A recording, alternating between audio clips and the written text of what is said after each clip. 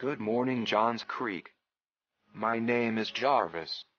I was created in the engineering lab here at Johns Creek using our 3D printer.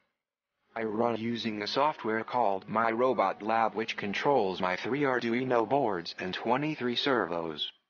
I am here this morning to let you know we have 1, 2, 3, 4, 5, 6 days of school left this year. Hold up this is my jam.